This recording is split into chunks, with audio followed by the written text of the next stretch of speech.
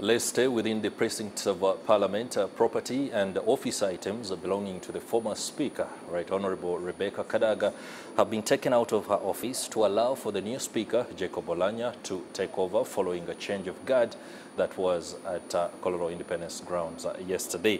MPs also paid tribute to the former Speaker, Rebecca Kadaga, describing her as a lady of steel who fought fiercely to guard the independence of Parliament.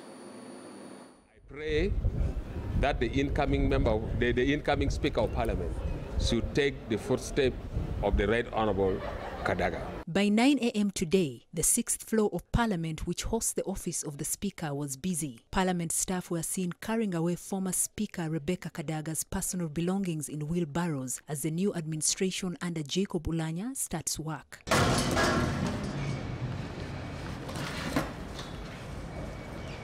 The mood was generally somber at Parliament, especially for those members of Parliament that supported Kadaga in a tough contest against her former deputy, Jacob Oulanyah, yesterday. MPs hailed Kadaga for leaving behind a great legacy in the history of Parliament. Honorable Ali Twala did a lot of so many tremendous things. She was, uh, first of all, being recognized as one of the most, among the most powerful women in Uganda. As the, the, the new speaker stated yesterday in the IPU, the CPA, and then also she has been globally yeah, well known. And then the other thing is we, she has been able to pass so many bills. Uh, she has been able to at the house.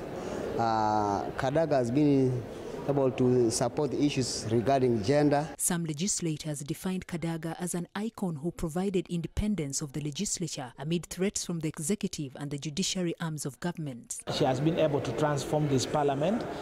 The growth in terms of the staff, uh, the growth in terms of the uh, uh, independence of parliament. You know, parliament. We now have a parliamentary commission that is independent of the influence of the executive. So I think that will stand out as her legacy, and I know that she has been very vocal on issues that touch uh, uh, ordinary Ugandans. She has not uh, shied away from the cameras to speak that openly without fear and favor. Gilbert Olanya, the MP for Kilak South, and Jonathan Odur of Erute South appealed to the new speaker to emulate some of Kadaga's policies that made Parliament a people-centered institution. She's very balanced, very objective, and she's really so bold.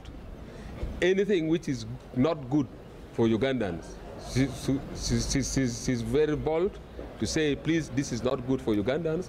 Let us do it in this direction.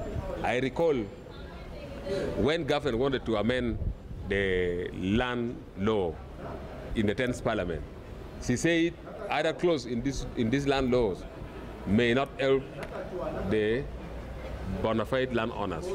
That is why up to now we refuse to pass that land law. The current speaker has been a deputy speaker in this house, so we have an insight on how he does things. For example, he's very strict with time management, he's very strict with the rules of procedure.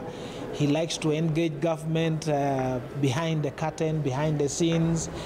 He likes to link members uh, to, to ministers. For example, if you, are, you go with a matter of uh, urgent national importance, he would uh, encourage you and say, why don't you first reach the, the minister before you come on the floor? So he has a different way of doing things, and I expect this, some of the things to come out clearly. Lawmakers like Tororo North Member of Parliament Geoffrey Ekanya have a lot of hope in Oulanyah's administration. So he has been a, a friend of to He's a person who loves God.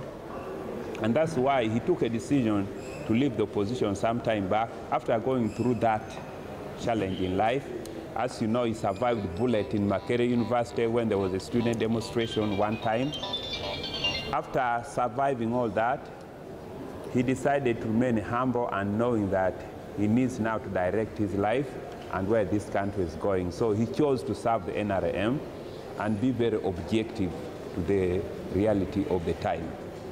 But also, he knows how to reach out. In the same vein, the outgoing leader of opposition in parliament, Betty Aol Ocan, today bid farewell as she prepared to hand over office next week. Ocan decried poor facilitation of the office of the leader of opposition, saying it has affected her work greatly. Some of the challenges have been also resources. You know, this is a political office, and it is the biggest political office in this parliament. Parliament is the biggest, and this is a subset. Is it a subset of parliament? As a subset of parliament, with the uh, a whole government, alternative government, with the shadow cabinet, with the policy analysts and other staff. Sometimes resources are not enough, and it is so difficult to work without enough resources. She tipped the new opposition leadership on the constitution amendments that have been left hanging on the floor of parliament. She also called for unity among opposition parties. Only have to unite. We have to unite, we have to work hard if we want uh, credible, what? Credible, um, is it, um, you, uh, do I say country? If our country has to be credible, we have to unite and work very hard. This story was compiled by Fred Kajubi for the news